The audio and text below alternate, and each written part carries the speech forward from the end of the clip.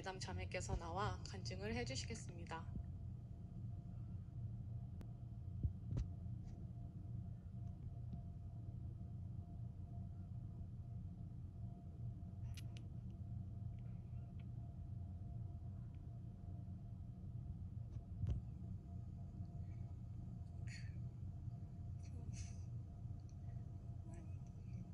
부모님을 따라 그리고 부모님의 권유에 선한목자 교회를 다녔습니다.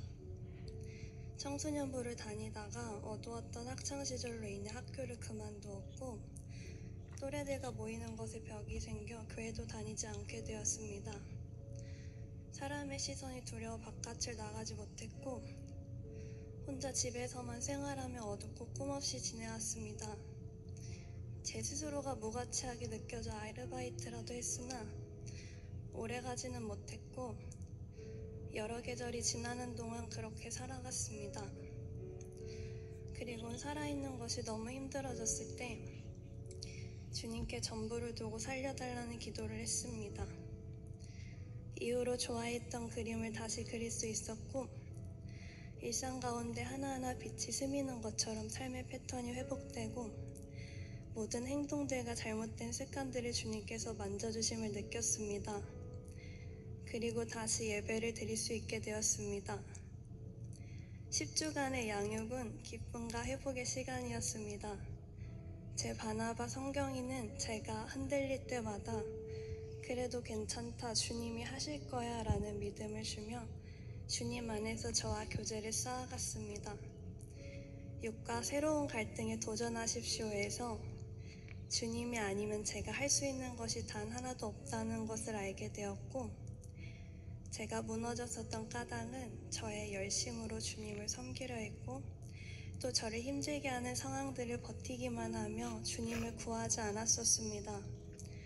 하나님을 인정하십시오라는 말씀에 그동안의 내 열심을 내려놓고 주님을 인정할 수 있었습니다. 주님을 인정하라는 말씀에 그동안 제가 잘못한 것을 회개하며 하나님은 선하신 분이라는 것을 고백했습니다. 저는 제가 주님 앞에 의인이 되어야 사랑받을 수 있는 줄 알았습니다. 그러나 주님이 기적을 베풀어 주시는 것은 제가 의로워서가 아니라 복음을 믿었기 때문이고 오직 주님만이 우리를 사랑하사 독생자를 내어주신 것임을 알게 되었습니다. 그래서 양육을 받는 동안 제가 죄인이라는 것을 받아들이게 되었고 예수님을 제 삶의 주인으로 인정하게 되었습니다. 또 바나바를 통해 주님의 사랑을 배우고 저의 자아가 회복되는 것을 경험하였고 저를 위해 기도해준 공동체에 감사하는 마음과 소망이 생겼습니다. 이제는 제 열심이 아닌 저의 부족을 인정하고 주님 안에서 주님을 의지하며 기도로 나아가기를 소망합니다. 저를 긴 시간 바라보며 기도로 돌봐준 저희 세런들, 제 삶 가운데 가장 긴밀하게 영적으로 교제한 미국에 있는 사랑하는 성경이에게 감사한 마음을 전합니다. 그리고 약할 때 강함 되시는 주님께서 제 삶을 친히 다스려 주시며 감사를 올려드립니다.